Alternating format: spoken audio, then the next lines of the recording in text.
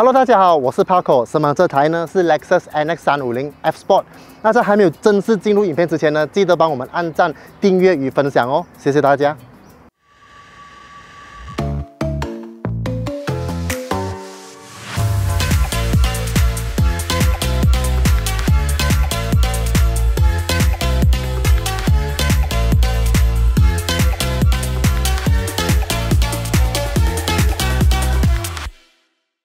那相信大家对这台车应该都不会陌生，它是 NX 三五零的 F Sport，它的售价为四百一十五千八八八。那当然，它有另外一个款，名字为 NX 二五零的，可是那它就不是 F Sport，它的售价为三七五八八八。NX 三五零跟 NX 二五零的价钱相差四十千，然后 NX 三五零呢，它是二点四 Turbocharged，NX 二五零呢，它是二点五 NA 的。其余的它样子其实几乎是一模一样，只是这是 F Sport 的配套的话呢，它的 grill、rim 还有一些 design 都会不一样。那当然，在 Lexus Malaysia 呢，你购买新车的话，它给你五年的 warranty。不过，就算我买 Lexus 我没有 warranty，我也不会担心，因为 Lexus 就是一个品质保证。那来看看它的车头设计，第一眼看的辨识度最高的就是这个从顶到底的这一个 Sprinter Grill。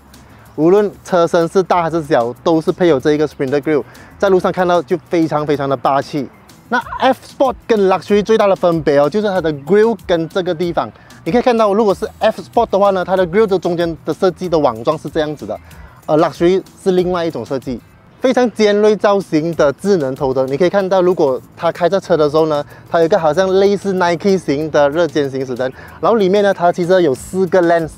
象征着成功人士的这一个标志，Lexus 的标志，其实它的 size 是蛮大的，大概就是一个 iPhone 十五 Pro Max 的长度。然后这个那么大的一个 logo，它后面其实是一个隐藏式的雷达。然后最后就是整台车都是黑色，可是这里有一个银色的一个点缀，就看到整台车就不会太单调。传统的开车门方式，其实它是分为两个小动作，第一个就是开，第二就是拉，就是把那个门把呢开了之后再把门拉出来。可是 Lexus 就不一样，它把这个两个动作合在一起，变成一件式的打开了。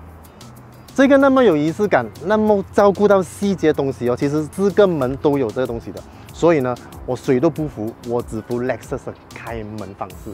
车身长度为四六六零 mm，比多大 Harrier 最新款的短一些些。可是车距呢是二六九零 mm，就跟 t o y o Harrier 是一样的尺寸了。所以你大概可以知道这台车的真实尺寸是如何的。那无论你选择的是 Luxury 或者是 F Sport 的话呢，它的 rim 都是一样是二十寸的 Sport rim，然后搭配的轮胎呢是这个 Run Flat Tires from Bridgestone 的，尺寸为二三五五十 R 二十的，然后是前后都一样。还有一个整台车里面最吸引我的地方哦，就是这个门的边框的颜色，其实它的颜色跟你的 rim 的颜色其实是一样的哦，所以整台车看到是很有的层次感。当然还有这一个尾部的宽体，它的线条跟肌肉形式做的非常的极致，非常好看。那刚才看了车头的底部的银色点缀，其实来到车尾呢，它也是有一样的东西来做一个延伸版本的。Lexus 的 F Sport 也代表着他们的运动版本的车款。所以这台车呢，你可以看到它的车的底部这里呢，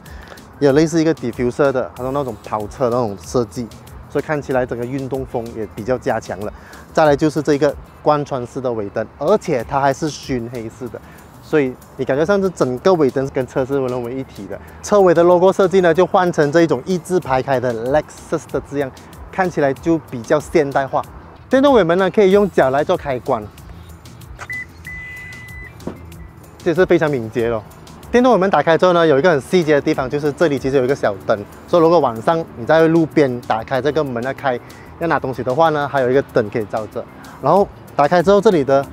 容量呢是五百二十个 l 的。如果你觉得还不够的话呢，椅背可以六四倾倒的话呢，你要在在电视、在冰箱什么东西的都没有问题。可是有一点我要吐槽的是，这台四百多千的车，它的六四倾倒它并没有一键式的按钮给它倒下，而是采用这传统的从前面把它拉下来的那个方式。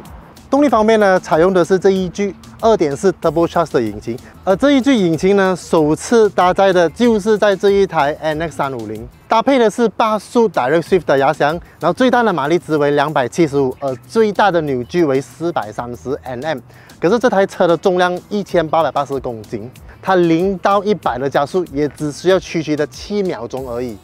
来到车内设计，第一眼看到的肯定就是这一个超大的十四寸娱乐主机，而这个主机呢，它的颜色也是非常的好看，非常的高清，它还支配 Android Auto 跟 Apple CarPlay，而且还是无线的。下来就是这两个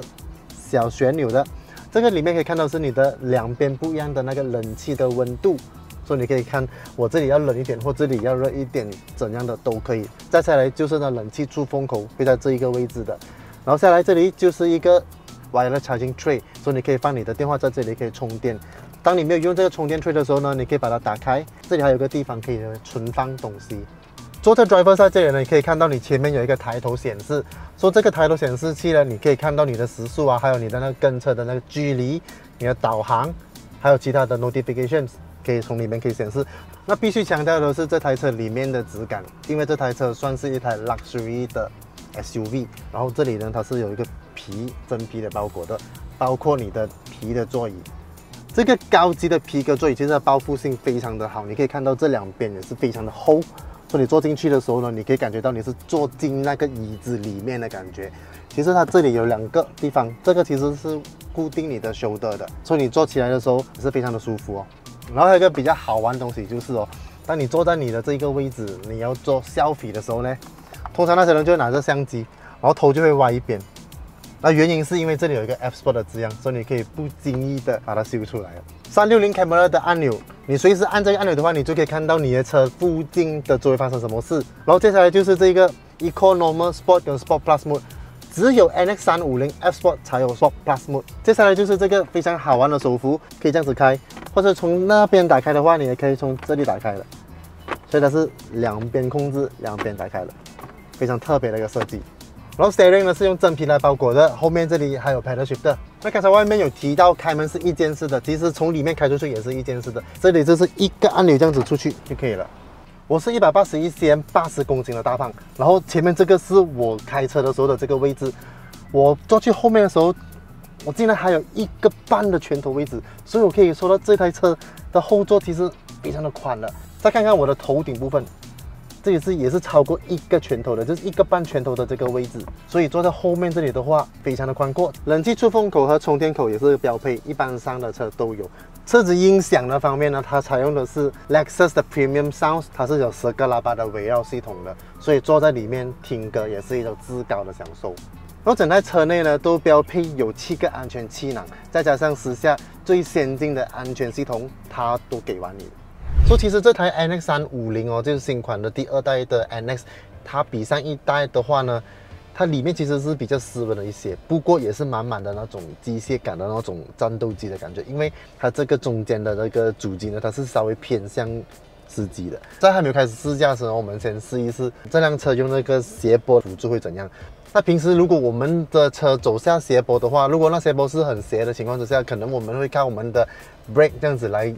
控制那个速度，不过这辆车就不需要，只要这里按今天按那个 button 哦，这个是下斜坡的辅助，你按了之后呢，其实你基本上你连 brake 都不用放，它会以一个最慢的速度慢慢的滚着下山，这样就比较安全一些。所以前面这里是比较斜的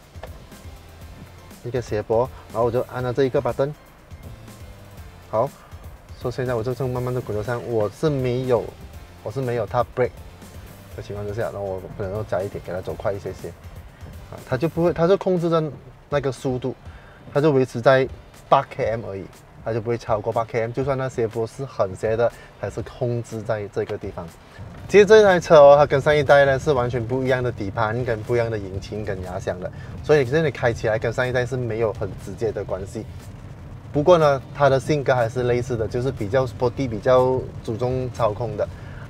那其实很多人都会拿这辆车哦来跟。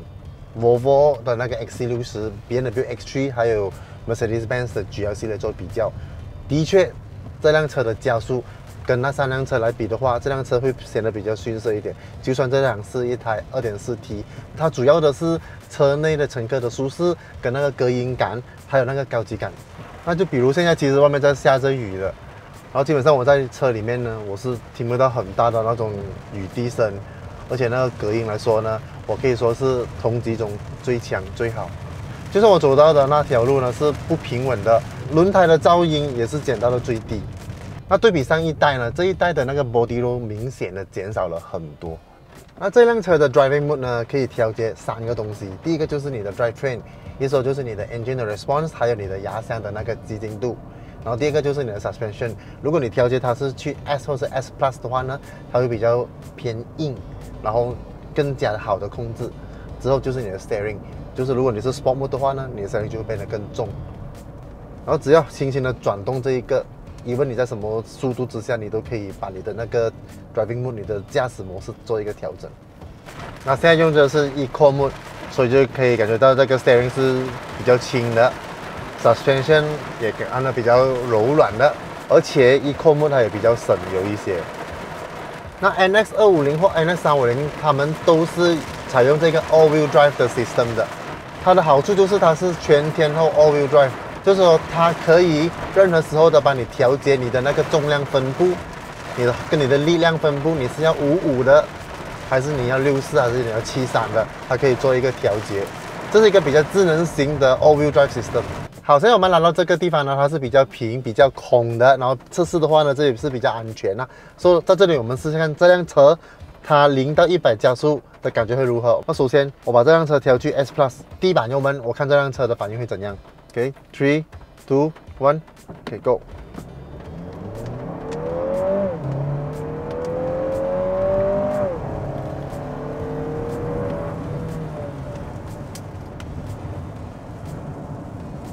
是蛮不错的，是蛮厉害一下的。可是我还是觉得它缺少了一些爆发力。不过也 OK 啦，因为它是 Lexus。它主打的是比较多是舒适跟舒服跟那个乘坐的感觉，就是它起步会比较是算是比较平顺，没得爆发了。然后接下来我们来试试看，这里是空荡的路，没什么车的，我们这里看看它拐弯的那个表现。说现在我是在 Sport Plus Mode 的情况之下，我的 steering 会稍微重了一点点，不过它所谓的重也没有去的很重。然后 suspension 来说呢，它的确是有硬了一点的。加上这台新款的引擎 2.4T 哦，它的声浪其实蛮好听的。哦，前面这里是比较有多一点弯路的，我们试下它的那个 control，OK，控制是非常好的，因为它是 all-wheel drive。我，前面是下斜坡，body roll 很少，我一直在加速。OK，操控很好，是偏向那种比较软的，不就不是那一种硬派的，就是有一些弯，你会过，你会觉得这个速度，这个柔软度可能是过不去，可是哦，当你过去的时候，你就哎，其实 OK 哦，还可以过去哦，然后它也没有任何的那种轮胎那种噪音出来，证明说还是它的控制范围里面。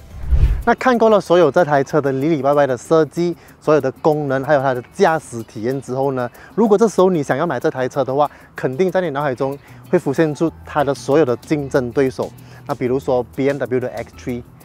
Mercedes-Benz 的 GLC，还有 Volvo 的 XC60 T8。可是你可以看看这四台车来做比较的话呢，其实只有这一台是唯一一个来自亚洲的代表。那如果是你的话，你会怎么去选择呢？那以上就是我的影片的所有介绍。喜欢的影片的话，记得按赞与分享，多多支持本地创作。谢谢大家。